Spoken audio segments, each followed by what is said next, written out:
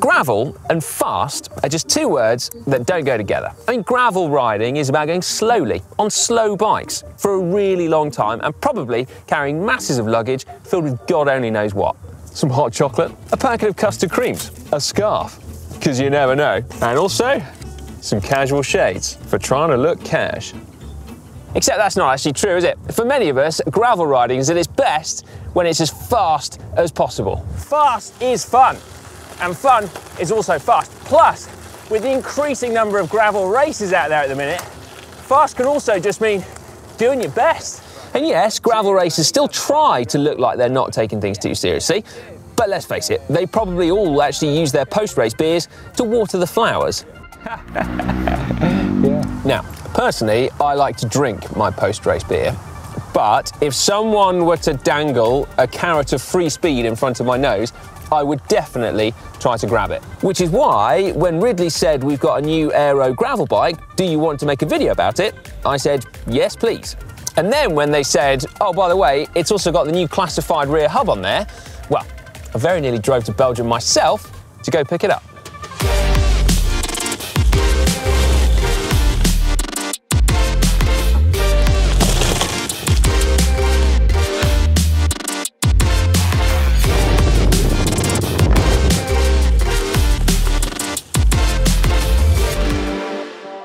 Cycling world is a richer place for the list of things that Belgians have either perfected or created, like beer and the classics, Frites, Sven Nys, Philippe Gilbert, and fast bikes, which is Ridley all over. They built the bike for the current world hour record holder, Victor Campenaerts, and they also have in the Noah Fast an aero bike that's been given several best aero bike accolades in bike tests from around the world, which is what makes this one, the Kanzo Fast, quite so interesting. It's basically the love child of a Ridley Noah Fast and their gravel bike, the Kanzo. So it's got all the aeroness of the Noah Fast, mated to the geometry of the Kanzo. Now, Ridley reckon that this is the fastest gravel bike in the world. And we got no way of verifying those claims, of course, but I've certainly never seen a gravel bike before that's quite so clearly tailored for aerodynamics. Apparently, it's up to 17 watts faster than an ordinary gravel bike. At what speed, I'm not entirely sure, but that does sound like a significant amount. More interesting still, though, is the fact that when you compare it to Ridley's Noah Fast road bike, it gives away just 4 watts, which then begs the question about whether this is an aero gravel bike or actually an aero do it all bike. Anyway, let's not get ahead of ourselves. Firstly, let's see how they've done it. Let's start with the front end, where rightly so, there's been a whole load of attention paid to areas that we take for granted, for example, like the transition from fork to frame, or indeed these little flicks at the bottom of the fork legs here that Ridley call F-wings. Then you'll notice there's a complete absence of cables here. They're all fully integrated, super clean and also super aero. They're even integrated into this one-piece aero bar and stem, which hasn't just been lifted from the road bikes. This is completely designed for gravel. So you've got a shorter reach and also shallower drop on there, which is also flared as well by about 16 degrees. So you could have narrow brake hoods to be super aero, but then also a wider stance when you're on the drops for riding technical terrain.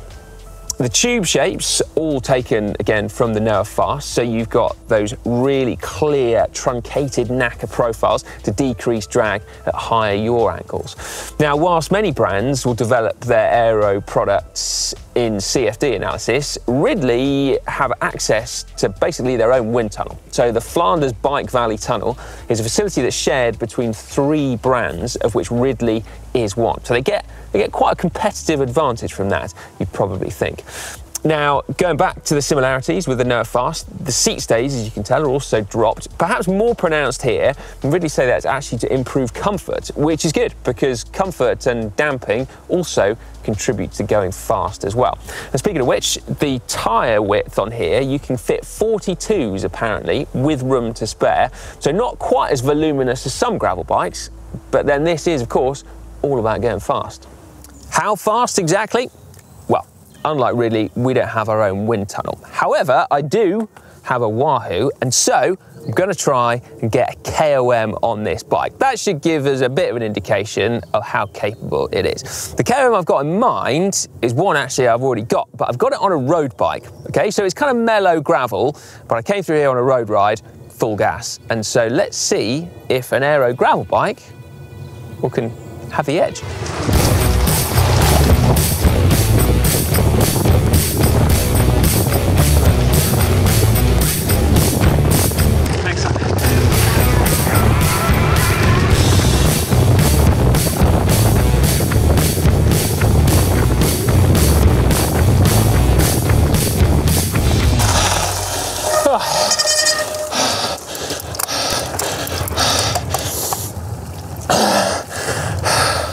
My word.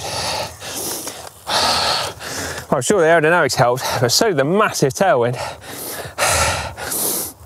Okay, are you ready? Oh, exactly the same time. I had to slow down for a dog. I killed it. Well, I feel like it's a moral victory, given that obviously I didn't want to run over a, a small dog. But um, if you need proof, it's on here. On, yeah, see, there you go. Slowed down. Okay, okay, so it's fast and it's aero, we get that. What else can I tell you though? Well, the frame weighs 1,190 grams and the riding position of it is a little bit shorter and a little bit taller than what you'd normally find on a road bike as befitting of a gravel bike, giving you a bit of extra control on the rough stuff. However, it's also worth noting though that if this is almost as aero as a Noah Fast, if you fancy an aero road bike, but you can't literally stretch to the position that you get on one, then you could consider something like this and just fit narrower tyres on there. But you then get the added versatility of being able to fit wider tyres, and also I noticed being able to fit mudguards on there as well. The frame is one by specific, but as I mentioned at the beginning of the video, this one here is fitted with a classified rear hub. So Ridley are working hand in hand with them, and I believe that this bike is one of the only ways you can actually get hold of the hub at the moment. So we will have a full video coming up on the channel soon, but in a nutshell, Basically, this rear hub does the job of a front derailleur and two chainrings up front, because inside there is a little planetary gear system that swaps between two gear ratios, one to one, which is obviously normal, and then one to 0.7. Now that is a difference that's probably equivalent to or larger than most double chainring setups. This one has a 48 tooth front ring, but when you swap it to the smaller gear ratio, that's equivalent of about 33 or 34. I believe. That's my maths, so maybe don't quote me on there. Now then, it swaps between the gears wirelessly, so it's fitted to the Di2 here, um, and then this is your wireless transmitter. And it differs from a front derailleur because it is almost instantaneous the way you shift, and you can also shift under load as well. You notice if you look closely that that rear cassette is not a standard rear cassette, and that's because the free hub body is a lot wider in order to fit all of the gear internals inside. So Classified are making their own cassettes. This one on here is an 11 to 34. Now it adds a little bit of weight to the bike compared to a one by setup. It's about 200 grams apparently. So that's a little bit less than or equivalent to a standard two by setup. I confess, all I've noticed is this kind of gentle sort of ticking noise that you get as you're riding along in that lower ratio. The rest of this particular build is Shimano's GRX Di2 version. Wheels are from Forza, which is Ridley's own brand, as are bar and stem. We've got Selle Italia seat post on there, WTB tyres and Rotor's Superlight crankset. All in, the bike weighs 8.55 kilos apparently. And the last point to note is that Ridley have their kind of in-house online customizer. So if you don't like the look of this stock paint job, or indeed some of the others, then you can actually choose your own unique paint scheme on there, which is, which is always a cool option to have. Now, one final point. Just how fast do you need to go in order to get the benefit of aerodynamics? Well, the answer is actually aerodynamics has a benefit at any speed. Personally, I find that you can feel the difference. It's actually tangible at around 20 to 25 k's an hour. And when I look back at my own gravel rides, that is pretty much my average speed generally when I go out.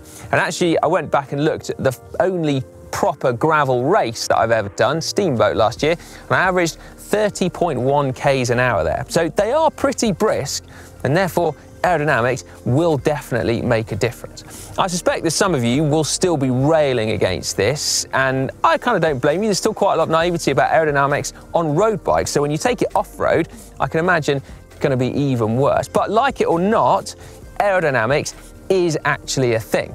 Now, whether or not it matters to you, well, that is another point entirely. But remember though, fast bikes can still go slowly. They just go a little bit less slowly than slow bikes.